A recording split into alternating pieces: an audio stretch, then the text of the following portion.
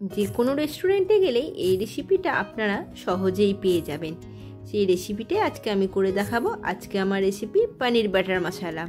কত সহজে বাড়িতে থাকা উপকরণ দিয়ে রেস্টুরেন্টের মতন পনির বাটার মশলা বানানো যায়, সেটাই আজকে আমি শেয়ার করব। নমস্কার বন্ধুরা, আমি ওয়েন্দ্রিলা কুকিং উইথ ওয়েন্দ্রিলাতে আরও একবার সকলকে স্বাগত জানাই। এখানে আমি নিয়েছি আড়াইশো গ্রাম মতন পনির। এবার পনিরগুলোকে আমি সুন্দর শেপ করে কেটে নেব। সমস্ত পনিরের শেপগুলো যেন একদম একই হয়।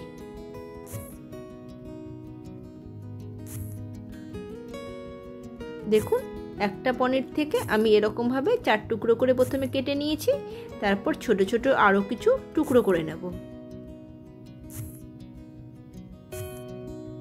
এইরকম সাইজের পনির রাখলে খেতে কিন্তু বা দেখতে দুটোই ভালো লাগে। সমস্ত পনিরটাই আমার কাটা হয়ে গেছে, এবার চলে যাব পরবর্তী স্টেপে এবার আমি পনিরগুলোকে গরম জলে এক ঘণ্টা মতন ভিজিয়ে রাখব। গরম জলে ভিজিয়ে রাখলে পনির কিন্তু খুব নরম হয়ে যায়। এছাড়া আমার লাগছে দুটো মিডিয়াম সাইজের পেঁয়াজ, তিন কোয়া মতন রসুন, এক ইঞ্চি মতন আদা, একটা টমেটো, বড় সাইজের, এছাড়া কিছু কাঠবাদাম, কাজু আর কিশমিশ। এই পরিমাপটা আমি কিন্তু পুরোটাই আড়াইশো গ্রাম পনিরের মতন দেখিয়েছি। নিয়ে নেব টু টেবিল স্পুন সাদা তেল, এর মধ্যে দিয়ে দেবো গোটা গরম মশলা, একটা এলাচ, একটা দারচিনি আর দুটো মতন লবঙ্গ, আর খুব সামান্য পরিমাণে গোটা জিরে। মশলার পরিমাণটা এই রকমই রাখবেন, এর চেয়ে যেন বেশি বা কম কোনোটাই না হয়। এবার আমি কড়াইতে দিয়ে দেব পেঁয়াজটা। পেঁয়াজটা একটু ভেজে নেব। দিয়ে দেবো সামান্য পরিমাণে নুন যাতে পেঁয়াজটা খুব তাড়াতাড়ি নরম হয়ে যায়। পেঁয়াজটা একটু ভাজা হলে দিয়ে দেব রসুন আর আদা।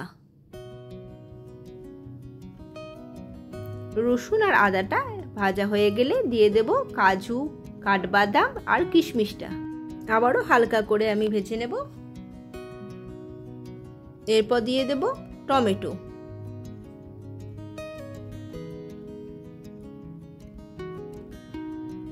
ভালো করে ভেজে না হয়ে গেছে। এবার মশলাটা সেদ্ধ করার জন্য সামান্য একটু জল দিয়ে দেব। জল দিয়ে দেওয়াতে মশলাটা নরম হয়ে যাবে। মশলাটা আমার একদম নরম হয়ে গেছে। টমেটোটাও দেখুন খুব ভালোভাবে গলেও গেছে। এবার একটি মিক্সিং বলে সমস্তটা আমি নিয়ে নেব। এই আদা, রসুন, টমেটো আর কাজু কাঠ বাদামের একটা স্মুথ পেস্ট আমি বানিয়ে নেব। এরপর একটি স্টেনারের সাহায্যে সমস্ত মশলাটা আমি একদম সুন্দর করে ছেঁকে নেব।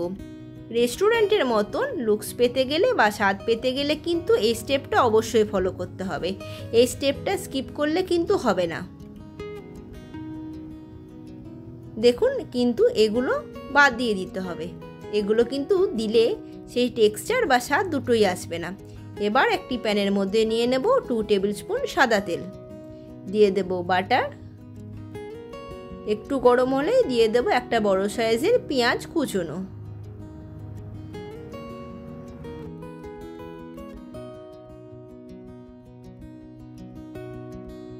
পেঁয়াজটা খানিক ভাজা হয়ে গেলে দিয়ে দেব করে রাখা মশলার মিশ্রণটা। এই অবস্থায় গ্যাসের ফ্লেমটা অবশ্যই লোতে রাখবেন। মশলাটা খুব ভালো করে কষিয়ে নিতে হবে। এবার একে একে দিয়ে দেব গুঁড়ো মশলা, হাফ টিস্পুন ধনে গুঁড়ো, হাফ টিস্পুন জিরে গুঁড়ো, হাফ টিস্পুন লাল লঙ্কা গুঁড়ো আর হাফ টিস্পুন কাশ্মীরি লঙ্কা গুঁড়ো। মশলাটা খুব ভালো করে কষিয়ে নিতে হবে। দিয়ে দেব স্বাদ অনুসারে নুন আর খুব সামান্য পরিমাণ চিনি। চিনিটা অবশ্যই ব্যবহার করবেন, তাহলে টমেটোর যে টক ভাব সেটা কিন্তু চলে যাবে। মশলাটা খুব ভালো করে তেল বেরিয়ে এলে এবার দিয়ে দেব পনির। লক্ষ্য করবেন পনিরটা জলে ভিজিয়ে রাখার জন্য কত সফট হয়ে গেছে। পনিরগুলো দিয়ে আরও একটু ভালো করে নেড়ে নেব। এবার ওপর থেকে ছড়িয়ে দেব কসুরি মেথি। কসুরি মেথি দেওয়ার পর দু থেকে তিন মিনিটের মতন ফুটিয়ে নেব। আমরা কিন্তু রান্নার একদম শেষ পর্যায়ে চলে এসেছি। এবার ওপর থেকে ছড়িয়ে দেব ফ্রেশ ক্রিম। এটা অবশ্যই ব্যবহার করবেন। ফ্রেশ ক্রিমটা কিন্তু স্কিপ করবেন না। ফ্রেশ ক্রিম দিলে বাটার পনিরের স্বাদটা কিন্তু সত্যিই দ্বিগুণ হয়ে যায়। ও ভালো করে মিশিয়ে নিলেই একদম রেডি হয়ে যাবে বাটার পনির। এবার পরোটা, নান বা রুটির সাথে পরিবেশন করুন বাটার পনির। রেসিপিটি কেমন লাগল অবশ্যই জানাবেন। ভালো লাগলে লাইক ও শেয়ার করবেন আর আমার চ্যানেলটি সাবস্ক্রাইব করে আমার পাশে থাকতে ভুলবেন না।